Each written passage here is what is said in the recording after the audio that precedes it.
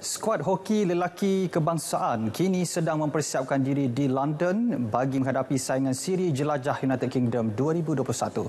Menurut pengurus pasukan, Datuk Minawan Nawawi, skuad kebangsaan dibenarkan untuk menjalani latihan secara kuarantin selepas melakukan saringan COVID-19 dan disahkan negatif.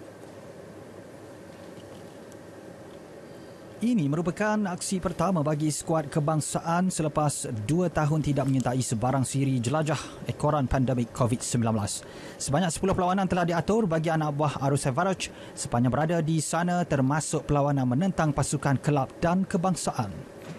Uh, kita akan melalui uh, empat perlawanan menentang pasukan uh, kelab-kelab di England ini sebelum kita berlepas ke Belfast untuk uh, bermain uh, dua perlawanan uh, test match menentang pasukan Ireland diikuti oleh uh, dua perlawanan dengan uh, pasukan Wales dan juga pasukan uh, Perancis.